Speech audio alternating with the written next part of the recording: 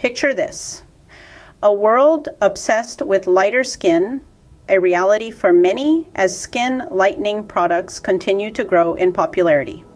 But what lies beneath the surface?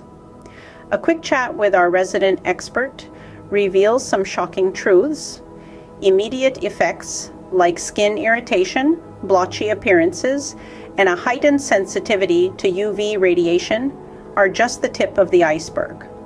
Pause for a moment and listen to the stories of those who've walked this path.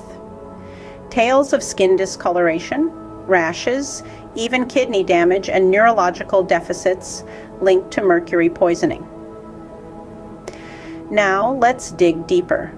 Prolonged exposure to harmful chemicals found in these products, like mercury, can lead to serious health problems, including chronic skin conditions and an increased risk of skin cancer.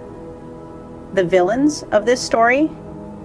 Toxic ingredients commonly found in skin bleaching creams, such as steroids, hydroquinone, and mercury. The take home message embrace your natural skin tone, avoid hazardous beauty practices, and always consult with healthcare professionals before using any skin lightening products. Remember, true beauty lies in health and safety,